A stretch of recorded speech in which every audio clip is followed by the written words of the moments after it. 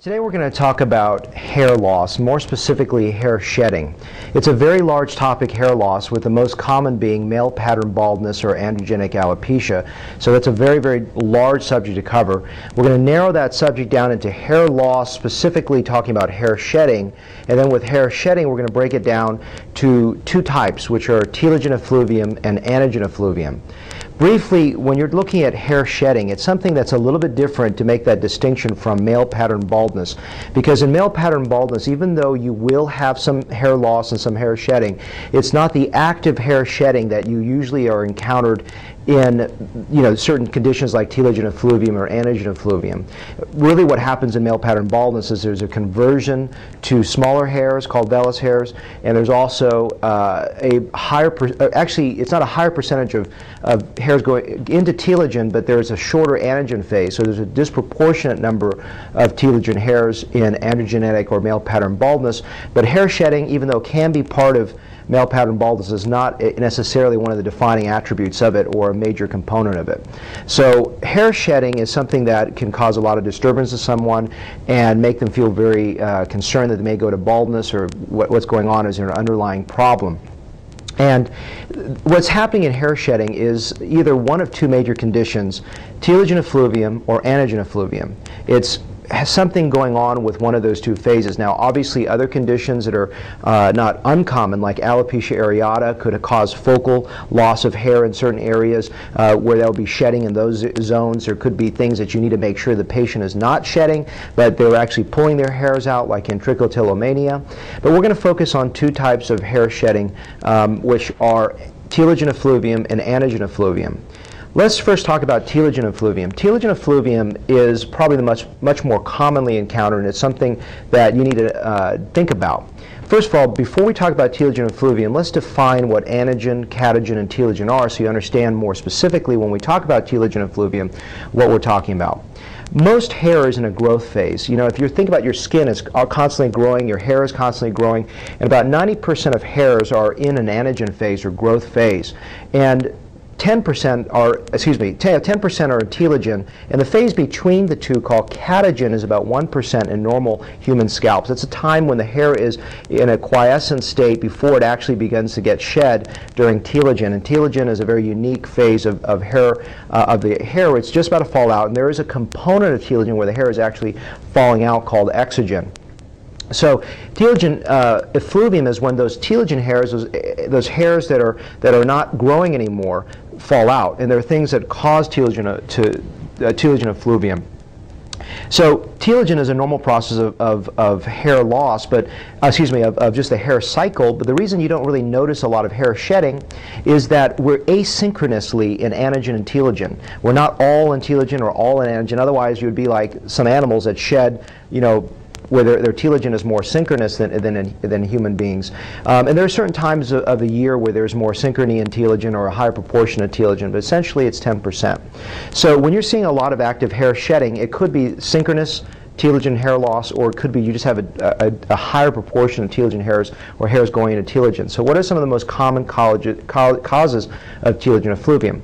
Um, several things. One would be fever. If you had a fever in the past, something could actually trigger a telogen loss, and that usually occurs in most cases with telogen effluvium about three to four months after an inciting cause. The reason fevers may cause it is there's a thought that the interferon alpha in there can actually incite hair loss. So if you have a fever about three to four months beforehand, that could cause a telogen loss. In addition to that, um, things like postpartum, immediately after childbirth, you could have a telogen effluvium. And the reason for that is most of the hairs are held in a prolonged state of anagen from the, from the higher estrogen state through the placental growth hormone. And after delivery, all these synchronized anagen phases are lost and you start shedding into telogen. It usually is more severe in your first pregnancy. It occurs about 4 to 12 weeks afterwards. It, all this can be stabilized with minoxidil, which interestingly enough, minoxidil itself can also cause a telogen because what happens is that the hairs are pushed into anagen phase, and so the hairs are then shed a little bit more quickly before it gets into anagen, and then so you may have a little shedding even with, with minoxidil in the first month of use. So postpartum state can cause uh, telogen effluvium as well.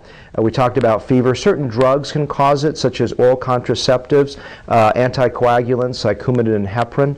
Now, the reason I want to talk about oral contraceptives is that it's probably one of the most common causes of telogen effluvium, and it's, it's oftentimes similar to the reason for postpartum is that when you're on when you're on oral contraceptives, you're in a prolonged state of high estrogen. Once you stop oral contraceptives, you can have some telogen effluvium or hair loss because you've entered a stage where there's a little lower levels of estrogen, and that can be another reason for telogen effluvium. Uh, prolonged anesthesia, uh, you know, the, just the, tr the traumatic uh, episode of having a, a, surgical procedure of almost any duration, but the longer the anesthesia, the higher likelihood that you could have uh, a telogen effluvium as well. That usually again occurs about three to four months after the uh, procedure, not immediately afterwards. Um, other causes are low thyroids, uh, low thyroid condition, a low iron level can cause it. Um, uh, crash dieting, and usually it's more specifically linked to the problem with having uh, a low protein during your crash diet that could cause uh, uh, hair shedding. In each of these conditions, uh, besides finding the cause of it, you also want to be treating it minoxidil or Rogaine topically to the scalp can be a very effective treatment uh, with the caveat again of maybe some early telogen shedding as the hair cycle into anagen more quickly. Um, other causes uh, of telogen uh, would include malignancy, uh, low, uh, uh, kidney dysfunction, some systemic disease or malabsorption with the, with, the, with the GI tract can also cause telogen effluvium. Those are probably the big categories, and, and on my website there's a huge list of also medications that have a very low incidence of reported telogen effluvium, but that's another, another, another cause as well. Finally, I want to talk about, before we got, talk about anagen effluvium, a subset of telogen effluvium called chronic telogen effluvium. This is a condition that occurs uh, typically in women between the ages of 30 to 60.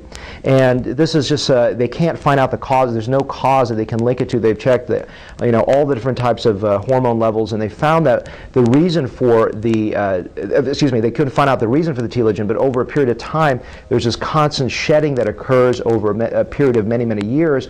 But the key is, one is to reassure a woman that she's not going to go to full baldness, even though there may be periodic times of hair shedding in addition to that, um, they found that actually topping off ferritin levels, which are the iron levels, up to the male reference range instead of just a female reference range can be very effective. And also using 5% uh, minoxidil, the male, do male uh, dose for, for uh, treating this can be effective so long as you don't get secondary side effects of, of hair growth in women.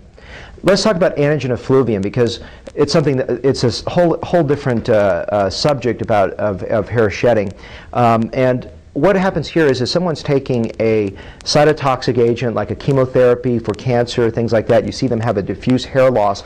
That is an anagen effluvium. So what is the difference? Well, it is affecting that growth phase, that anagen growth phase. And remember that 90% of hairs in general are in anagen phase, so that when there's an anagen effluvium, there's a tremendous amount of hair loss that you see uh, with a chemotherapy agent. Now, what is that? What is what's happening? Okay, is it just remember that telogen is not affected because it's in a in a quiet state, it's not doing anything. But the hairs that are actively growing are the ones affected because just like the, the cancer that it's affecting, the cancer is in a rapidly multiplying state and the hairs are in a rapidly multiplying state. So as the anagen, as the hair grows out, the matrix cells, if you look at my hair anatomy section of this website, I'll explain what that is, but those are the, some of the, the, the cells that are, are growing the hair out are not growing correctly and you get little breaks. And so you can see in the scalp, besides diffuse hair loss, also little abnormal breaks that occur uh, in, the, um, in the scalp as well because of the fragility when the hair is breaking off during uh, poor, the anagens being affected.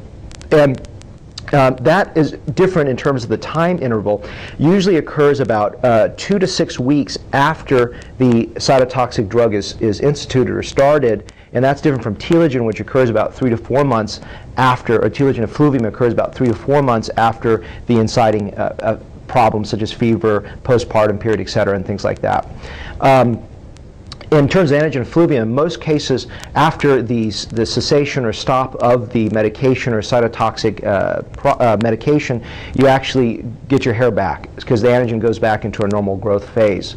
Um, hopefully that was a good summary of hair shedding in terms of just thinking about telogen effluvium and anagen effluvium. There's obviously other types of hair shedding that can occur, such as alopecia areata, and also uh, what we call scarring or cicatricial alopecia, but it lies beyond the scope of this brief video.